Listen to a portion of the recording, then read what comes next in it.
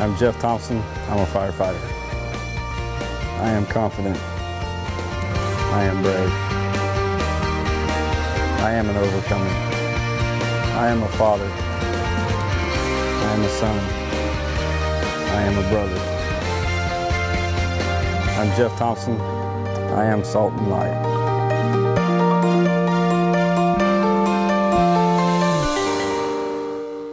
Hello, that church. Good to see y'all this morning, man. I am uh, I'm excited to be here. My name is Jason Oliver. I am uh, the connections pastor. I'm on staff here. I am Pastor Scott's shorter, balder twin. So I know you think you're looking at Scott right now, and I know we look a lot alike, but I just want to let you know I'm Jason. Okay, so I'm not Scott.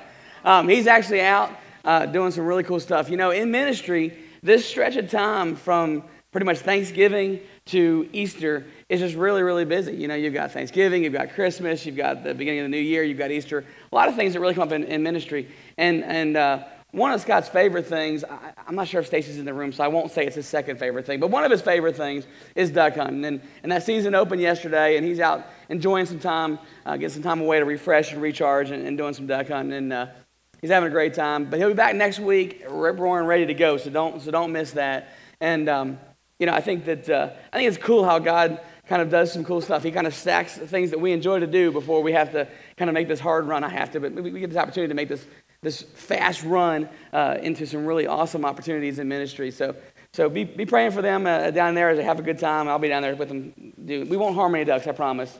I don't want to hurt anybody's feelings. The ducks are enjoying themselves. I'm sure it's a good time for them too.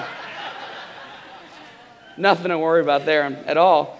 Um, as the connections pastor, I have the, the, the, the, amazing opportunity to head up the guest services team. You, might, you, may, you may know who these, these folks are. Perhaps, perhaps you've seen a shirt that looks a little like this, and maybe you've even been a little jealous. I won't say envious because that'd be bad, but maybe a little jealous. And, and you think, man, I'd, I'd like to have me a green shirt like that. And I'd like you to have a green shirt like that too. I'll be honest with you. They, you know, they put me on stage here, so now I get to, I get to advertise. Um, you know, perhaps, perhaps you think, man, I'd love to get plugged in. I'd love to serve somewhere. I'd love to do something, but I just don't know. And maybe you think, man, there's a ton of guest services volunteers, so they don't need me. I want to assure you that's not the case. You're needed, I promise. But maybe you think, ah, I don't really like people. That's okay too. I want to tell you this. We've, we've, we've got folks on our team that are introverts that don't want to say a word to anybody. There's opportunities for, for you if, if, if you don't want to talk to people.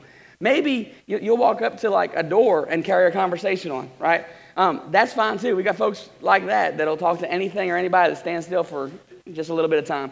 And everything in between. So if you'd like to serve, like to be part of the guest services team, really, if you like to serve anywhere in the, in the church at all, we, we'd love you just to fill out your connection card, mark on there, I'd like to serve. I'd suggest that you write guest services on there. Um, but we'd love to have you be, be part of the team. So that's what we get to do, and we'd love for you to join the Army of Green Shirts. Hey, say this with me. Say influence. influence. Say it again. Say influence. influence. Say one more time. Influence. influence. That's right. We all have influence, right? Even if you don't know you have influence, you've got influence. I, uh, I got a friend. I, I came to town here about six, seven years ago and met a guy one of my first couple of days here. Uh, I work part time at the church. I'm, I'm part time on staff, and uh, another part of the time I work as a consultant in the auto industry. And I uh, I work with guys in the finance office. That's where you go after you say yes to buy the car and you sign a bunch of papers. I work with those guys. Now I teach them how to do their job in a way that's legal, legal, ethical, and moral. What they do with it from there, you know, I can only do so much, but I teach them how to do it the right way. But anyway, I came to town and I'm, and I'm working with this, this gentleman. And, and he and I, you know, we hit it off. We got along really well, liked each other. I wasn't living kind of for God the way I was supposed to be, and, and truthfully, neither was he. But we liked each other, had a good time. As, as time went on, he ended up going to a different dealer group. We kind of lost track of each other. As, as a matter of fact, I just kind of lost track really altogether, and, and shame on me. But we were still Facebook friends. I didn't even realize that, but we were Facebook friends. And about four years later, about two years ago, I get a phone call and he says, Hey, uh, you know, I see the stuff you're posting on Facebook because in that time, I, I, started to come to church and my journey back to, to my relationship with God was getting stronger. And I, and I, was, I was, instead of posting the negative and, and argumentative and angry things, I started posting, you know, positive and, and encouraging things. I became Caleb, uh, apparently, on, on Facebook. But uh, so I'm, I'm, he said, hey, I'm, I'm seeing this stuff you're, you're posting, and, and I like it, man. I'd like to, I'd like to come to your church. Can I do that? And I was like, well, yeah, that'd be great, you know. So he, he came kind of sporadically, kind of off and on. And, you know, we got our, our, we kind of developed our relationship back a little bit. And, and, and what's really exciting, and I'll tell you more about his story in a little bit, but what's really exciting about this is that he credits me with having some major impact on his journey to finding his purpose with God. And, and I had no idea. You know, we have influence all the time, and we have no idea that we have influence. Luke tells us, actually, Jesus said that it's not the healthy you need a doctor, but the sick. I've not come to call the righteous, but sinners to repentance. See, oftentimes we think that it's about us. It's not about us. That's my, you know, one, once we're on board, once we, we say yes to Jesus, it's about everybody else. It's not about us. We are in week four of who do you know who, who do you, oh boy, who do you think you are? How about that? Who do you think you are? Week four, it is salt and light. So if you're, if you're taking notes, and if you're not taking notes, you can fill in the blanks anyway. You are the salt of the earth and the light of the world. Salt of the earth and light of the world. You know, it's salt of the earth. Not salt of your community, salt of your neighborhood, salt of your school, salt of your family, salt of your job. It's salt of the earth. We are designed, we are God's body. We are, we are the, the, the, the group of people that are going to carry out God's message and plan to the entire earth. We're the salt of the earth and the light of the world. Again, these are huge, huge things. It's a huge plan, it's a huge undertaking, and it's going to be done on our backs. We're the salt of the earth and the light of the world. See, we're designed and intended to be God's kind of undercover change agent. Change is going to happen because of God through us. Not because of us, but through us. We're the change agent. We're the ones that are going to cause change to come. Our theme for this deal has been, been what? Because when you know who you are, you'll what? You'll know what to do. That's right. Because when you know who you are, you'll know what to do. We pick it up in Matthew chapter 5, verse 13. Turn your Bible, look on the screen, go to your phone, turn off Facebook for a minute, whatever it is. But Matthew 5, 13 says, You are the salt of the earth, but if the salt loses its saltiness, how can it be made salty again? I think that's like the funniest sentence in the Bible. If the salt loses its saltiness, how can it be made salty again? I just think it's funny. It's no longer good for anything except to be thrown out and trampled by men. And, and, you know, we read that, right? And you hear, you know, you're the salt of the earth. And you know, you think salt of the earth people, that's good, just wholesome, down to earth people. That's what we think of. That's not what, what Jesus is talking about here.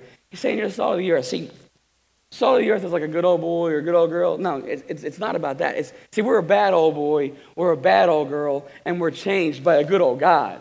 So we're not, we're not the salt of the earth because we're good people. We're the salt of the earth because God is good to us. That's why we're the salt of the earth. And you may think, man, salt's kind of weird. It's kind of a strange thing to use. I mean, today, salt is kind of the thing that, you know, you look at it on the table and you go, ah, I probably shouldn't have that because, like, my cholesterol's too high and, you know, I'm going to die if I use salt, right? I mean, it's delicious, but I'm going to die if I use it. So, so you think, why did, why, did, why did God use salt? Well, there's, there's a bunch of things that salt does. And there's just some of the blanks that we have here. Salt preserves. That's the, that's the next blank. Salt preserves.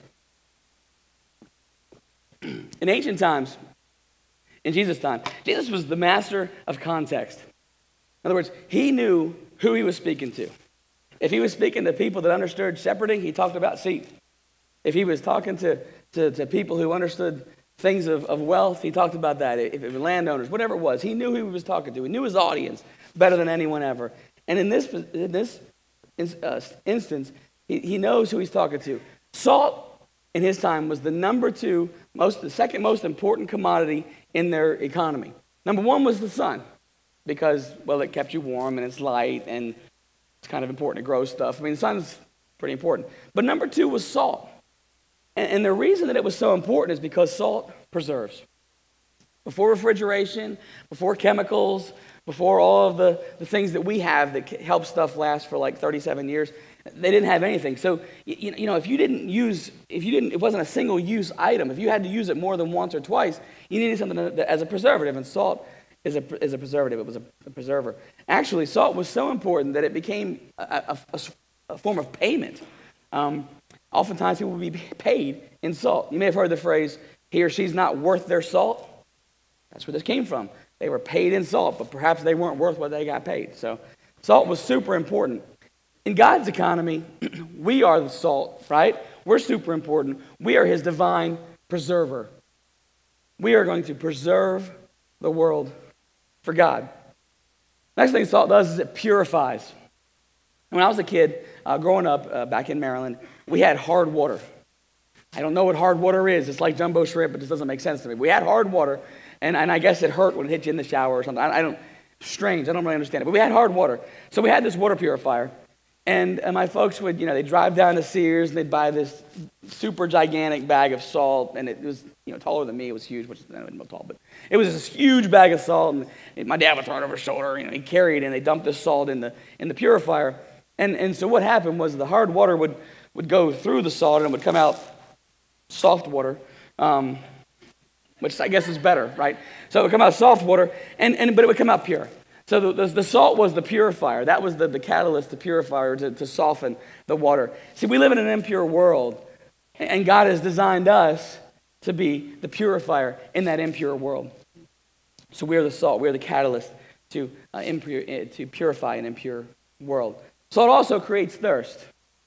Perhaps you've heard a rumor that if you were to walk into a bar, they may provide you with peanuts or pretzels or chips and salsa or something salty.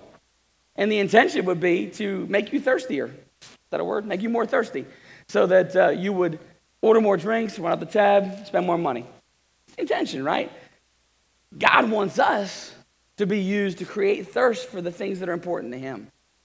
So if our life is aiming people towards God versus away from God, that's the intention. That's why we're salt, to create thirst. Salt also melts. You know, we're coming into the wintertime.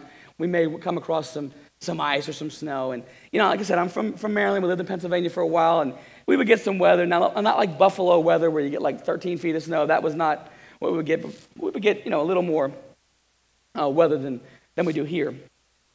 And we would have these buildings, and, and they were just salt depots, is what they were called.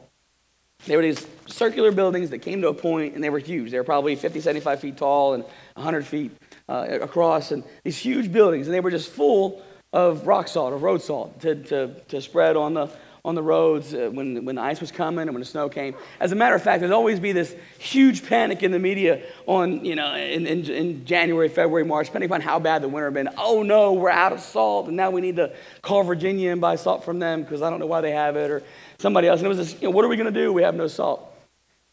So when I moved here, we moved here, and the day after we moved here, the next day, we had a, a little snowstorm, you know, an inch, two inches, something like that. And uh, shut the world down. You know, we were, we were scared. What do we do? Panicked. I didn't know how, how we were going to survive, you know. But I'm out running around, and, and see what would happen is the big dump trucks, you know, they would back up into the salt depot, and they would be filled with salt, and had a little spinny thing that would shoot the salt off in the back, and it was, it was great. And, you, you know, you liked following them because you could get traction and everything. So I'm looking for a salt truck. All kinds of trucks, but no salt trucks. I'm like, man, what do I do? So finally, I'm driving around and I see a salt truck. I'm like, cool, I'm gonna, gonna kind of hang out with this dude. And I see that he's spinning around like brown stuff. And I'm like, what is he doing? That's not salt. And I realize he's throwing dirt. I didn't get it. I'm like, why is he spreading dirt on the snow? That just is the strangest thing to me. And then it hit me. I'm in Arkansas now. Ice and snow driving, not so much. But give us some mud, and we are squared away. So no need for salt here, just mud. We're good. We're good with that. So, but but but salt does melt, and and and part of what we do is we're going to melt hardened hearts, hearts that are hardened to the things of God. We're going to melt, help melt hardened hearts. Salt also heals. Perhaps you've had a cut or a scrape or a boo boo in your knee, and you and you get into the salt water in the ocean, and you come out and you feel better. It's amazing how the healing qualities that salt water has. Salt heals. We have on our side the ultimate healer. God can heal anything hurt from a marriage, a job situation, a relationship, something from your childhood, whatever it may be. God is the ultimate healer, can heal anything. And we are his ambassadors. Forgive me, I'm sorry about that. As we move into Matthew chapter 5, in verses 14 through 16, we see that you are the what? That's right, you are the light of the world. A city on the hill cannot be hidden. Neither do people light a lamp and put it on a bowl, but instead they put it on the stand, and it gives light to everyone in the house. In the same way, let your light shine before men. That's right, that they may see your good deeds and praise your Father in heaven. In Palestinian houses, they had one window, which I think is awesome. I'm like deleting windows on our houses, but they had one window. And at night, when the, when the sun would go down, they'd have to light a candle. Now, for me, I'm thinking, you know, you just take the lighter with the little curly thing on the end and you hit it a few, three or four times and it lights the candle. Everything's good, right? No big deal. As a matter of fact, we've even gotten so awesome that we actually have in our, in our bedroom, we have remote control candles. It's the most amazing thing ever, man. You hit the button, the candles come on, they flicker, you hit the button and they go off. It's amazing. But these were not those times, and I'm so thankful we live in modern, modern times that I could hit a button and have candles. But anyway, they, so for them to light a candle, man, it was a, it was a strenuous deal. They'd have to, I don't even know what, you know, take two rocks and strike them together or something. I, I just, you know, there needs to be a switch or a button. But, but they, would, they would light a candle. So it was, it was kind of an arduous task. It was a big deal.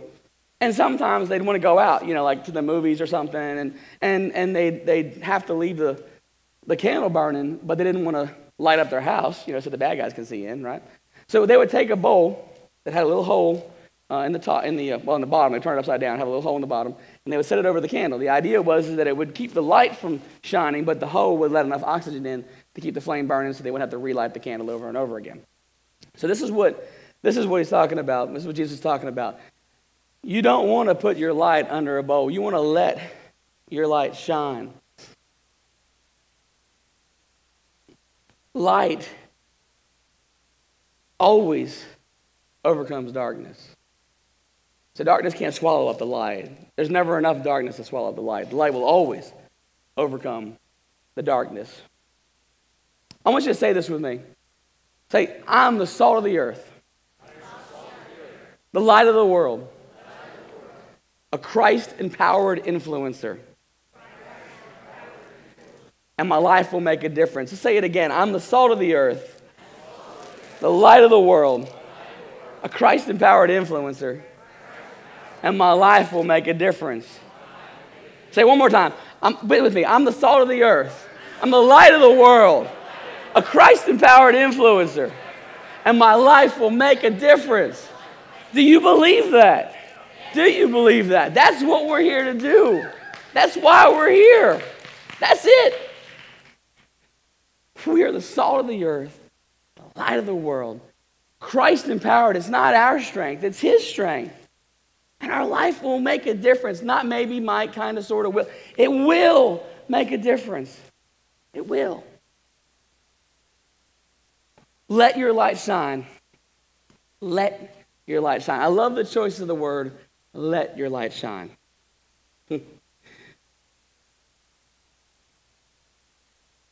Letting your light shine is indicative of the fact that it's going to shine as long as you allow it to. There's no there's nothing you have to do. You don't have to really concentrate. Oh, you don't have to do anything. That's just weird and you look strange. You just let it shine. Let it shine. I know you're singing the song, right? This little light of mine, I'm going to let it shine. Right? Let it shine. Let, hide it under a bushel. That's right. You guys paid attention to VBS, right? You hung out. You got the cookie, right? Right? Hang on, hang on, hang on.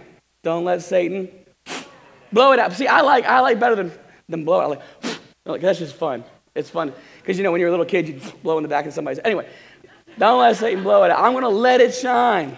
Let it shine. A couple weeks ago, we had a full moon. Did y'all see that? It was awesome. You could see the man on the moon or the chocolate cookie in the moon, whatever it was. My parents had me convinced that it was a chocolate chip cookie, and I was very excited because I love chocolate chip cookies. But I learned later on that it was not a cookie, and I was sad. And nor, nor was it a man, which is really strange. Um, it's a big, creepy dude up in the sky. Anyway, sometimes we'll look up and we'll say, man, the moon is really bright tonight. But is it really bright? No. See, the moon doesn't have any light source, it's a reflector. It's reflecting the light from the sun. So, really, it's the sun is really bright, and the moon is really reflecting the light. We're much the same way. We, we really have no light on our own. We're reflecting the light of the sun, the S O N sun, but we're reflecting the light of the sun. If we allow it to be so, if we allow our light to be reflected, if we allow Jesus' light to be reflected through us, it becomes brighter and brighter. In Acts chapter 16, we come upon two pretty cool guys. We come upon Paul and Silas.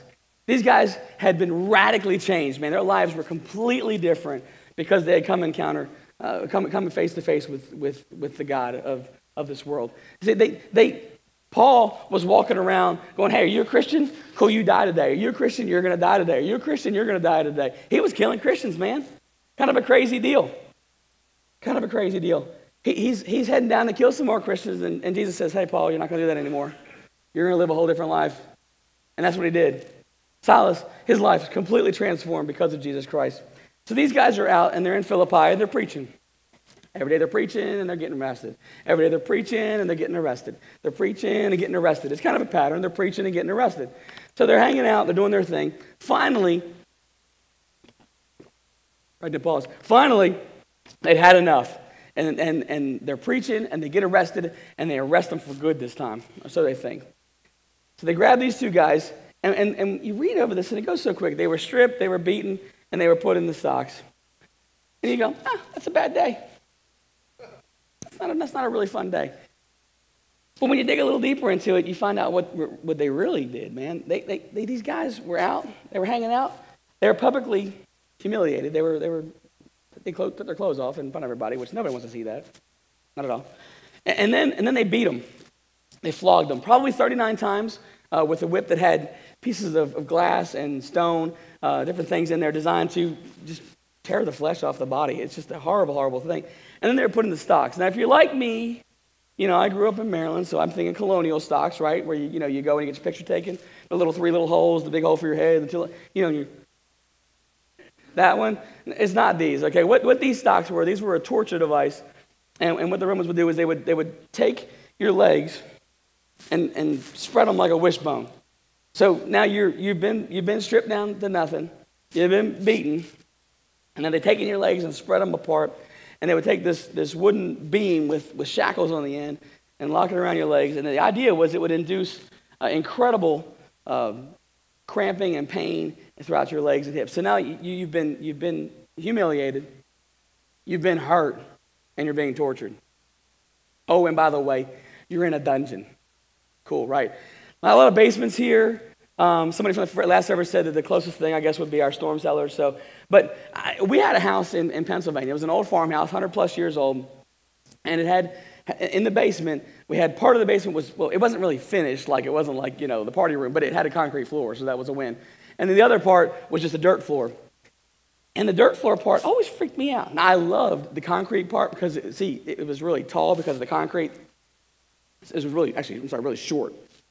So I felt like really tall. I had to duck and stuff, so I felt like I'm a really tall dude. It's awesome. It's the only place I ever felt tall. But the, the, uh, the dirt floor part, it just freaked me out. It was, wasn't, you know, it was always kind of damp and musty and kind of weird. I didn't like it. I, that's the closest thing in my mind that I could think of like a dungeon. So I can't imagine having had this really horrible, terrible, awful day and then having to go hang out in a dungeon with a bunch of other bad, bad folks, you know, doing bad things. And really, all I've done is preached. I mean, goodness, that's terrible. Listen, I hope it doesn't happen now because nobody wants to see that.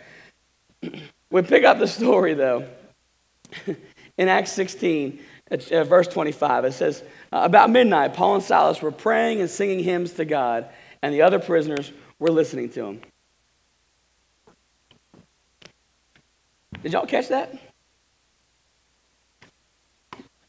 Paul and Silas were praying and singing hymns to God, and the other prisoners were listening to them. They had had this terrible, awful day, stripped down, beaten up, put in stocks, and they're praying and singing hymns. And here's what's cool about this Paul and Silas didn't, didn't venture out and have a little meeting and say, okay, here's what we're going to do. If, if we get arrested today and we get stripped and beaten and put in stocks, here's what we're going to do. we're going to have a prayer meeting. No, no, no, wait. Okay. We're going to say our memory verse. Let's, do that. Because there might be some people there who, no, no, no. We're going to sing our favorite songs because somebody might hear it. That's not what they did, man. They were in prison after this horrible, terrible, awful day, singing and praying, and the other prisoners were listening to them. See, that was just a natural outpouring of who they were. That was Christ shining through them.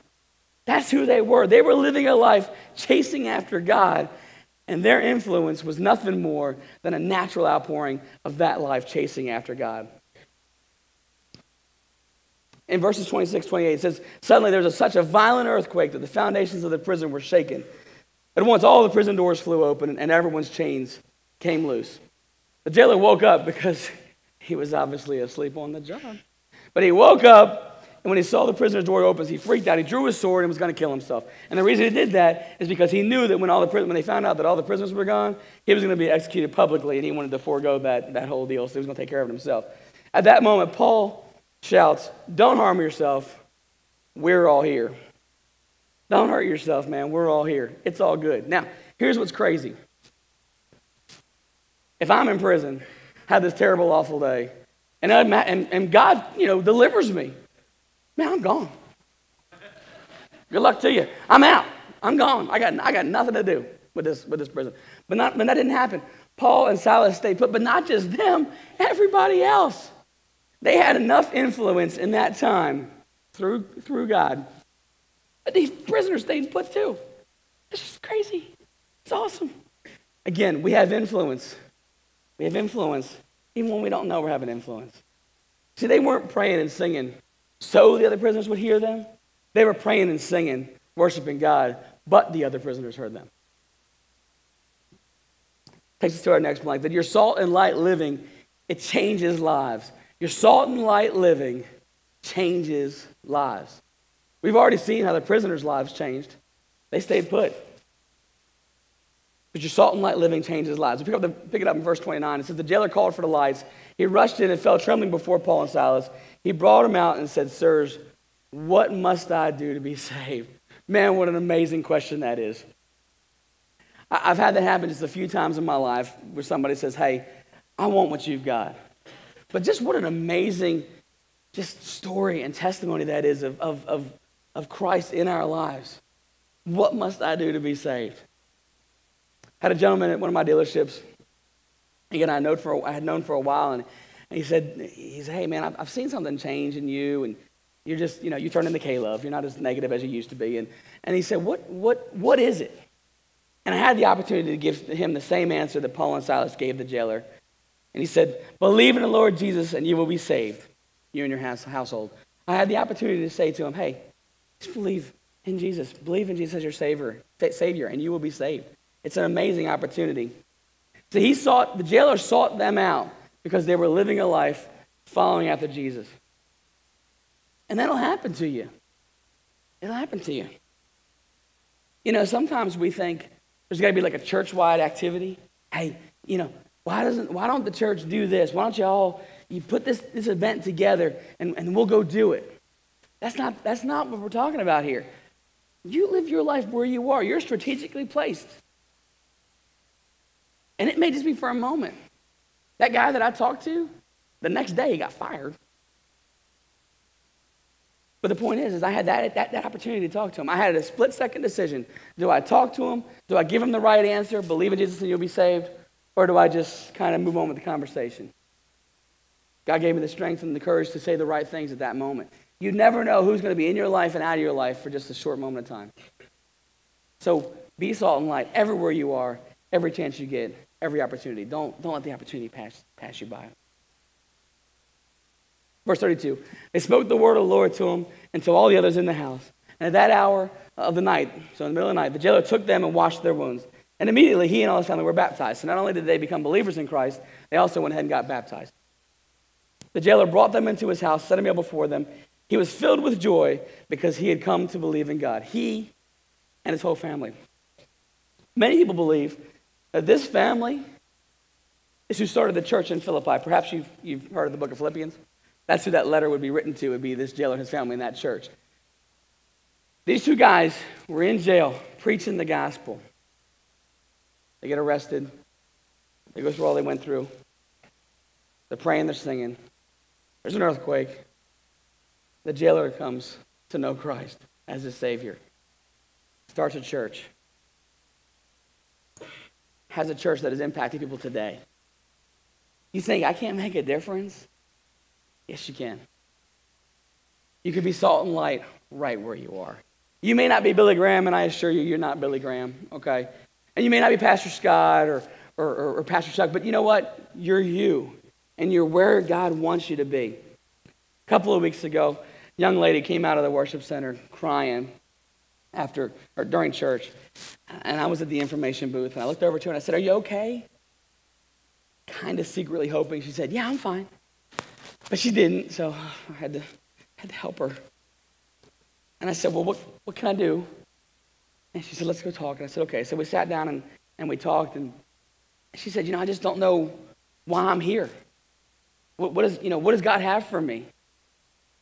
And I said, Well, what do you mean? And, you know, when we talk about identity, right? I mean, we, we talk about identity being who we are in Christ. But, you know, sometimes, I mean, we really struggle with, you know, I'm a, I'm a teacher, I'm a plumber, you know, I'm a, I'm a musician, I'm an athlete, I'm a, I'm a mom, I'm a dad, brother, sister, whatever it may be. And we get these, these labels and we struggle with where our identity is. But, but more importantly, when we say, okay, cool, I'm a, I'm a believer in Christ, I'm, I'm, I'm a Christ follower, that's who my identity is. And then we have that moment of now what? And that's where she was. She said, You know what? I know that I'm not the label that I was given. I am a fully committed follower of Christ. But now what? I'm not a professional Christian. I, maybe I need to know more. Maybe I don't have enough knowledge. I don't know what to say. So God just gave me this question. I said, Well, what do you, what do, you do? What's your job? And it comes out that she, she works uh, the overnight shift uh, in a convenience store here in Sherwood. And she gets to see people that many of us will never see at a place in their life that many of us will never reach them. She, she may be dealing with somebody who's come out of the drunk tank. Maybe it's a prostitute. Maybe it's a, it's a police officer who's seen the most horrible things that we could ever imagine. But maybe it's a single mom who's there counting her pennies and, and nickels and dimes, trying to buy something for her baby, but just doesn't have the money to put it together.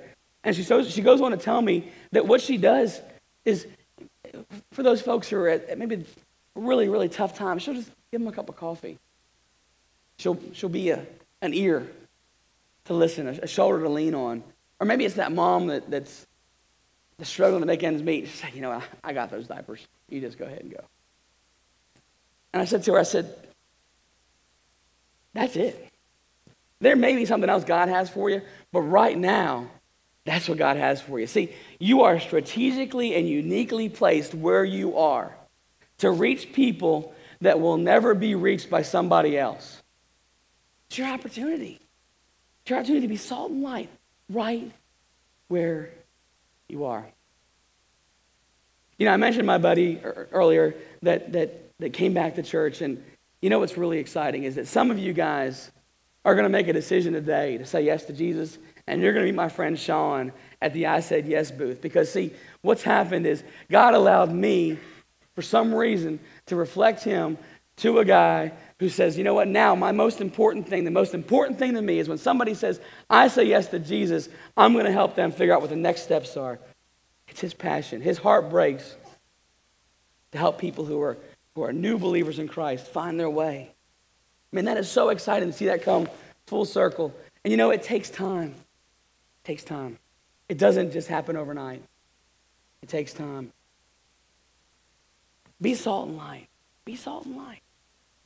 Be salt and light. The light will always pierce the darkness. Always pierce the darkness. Your light will never be overcome unless you put a bow on it and say, hey, I, have got mine. I'm good. I'm a believer. I'm just going to hang out over here. No. Take that bowl off. Let Jesus' light shine through you. Be the salt. Be the salt that, that, that preserves, that purifies, that, that creates thirst, that melts, that heals. Be that salt. People around you. It's where you're positioned. It's why we're here. It's why God has us breathing and upright. That's it. That's it. You are the salt of the earth. and the light of the world. Sometimes as Christians, we like to run away. We go, oh, secular music. Oh, bad things. Oh, and we get scared. Oh, movies. And we get scared and we're moving away. No, that's not what Jesus did. Jesus went to those things. Hey, no, no. Let me bring my light. Let me bring Jesus' light to you. Don't just sit back and let it come to you. Have them say, come to me. No, go to them. Be the salt and light where you are. And let it shine. Let it shine. Let it shine, right? Let's close our eyes and bow our heads. Maybe as we're, as we're talking about, maybe as we're talking about salt and light, there's, there's somebody that comes to mind. There's a, there's a face that you see in your, in your mind or, an, or a voice, I'm sorry, a name that, that you hear. As you think about them, you think about who you need to, to, to have influence on, or who you can have influence on. Who, who does God want you to be salt and light to? Man, if there's somebody like that, and you say, Jason, look, I, I, I don't know what to say. I don't know if I have the right words or know enough Bible verses or, or whatever it is that I need, but, but there's somebody that I know I need to be salt and light to. And if that's you, just, just raise your hand up. Nobody's looking around. Just, just raise your hand. All over the room. That's right. We need to be salt and light, Christ empowered influencers all over. That's right. Maybe you're not a believer in Christ. Maybe you don't know what that looks like. You say, man, I, I you know, this, this thing sounds great, but I don't, I don't really, I, I, this whole say yes to Jesus thing, I've never done that. I don't know what that looks like. You know, I'm going to give you an opportunity to say a prayer that will change your life forever. If you want to, if you want to know what it looks like to be a follower of Christ, if you want to say yes to Jesus, just, just say these words after me. Just say them in your heart. God hears and understands what you're saying in your heart. Say, God, I know that I've done wrong. I know that I've that I've I've, I've, I've broken the rules. I've sinned. I've done things I shouldn't do, God. I know that in my power I can't make that right. I know that only only because Jesus came and, and lived the perfect sinless life, because he allowed himself to be sacrificed, because he died, because he conquered death and, raised, and rose again on the third day. Because of that, I can claim eternity in Christ. Today, I say yes to Jesus as my Savior. I want to take that step to live in eternity with you, God, not separated from you.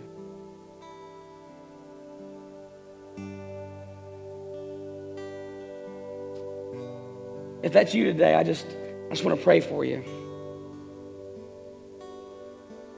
If you said that prayer, you've made the greatest decision that you could ever make.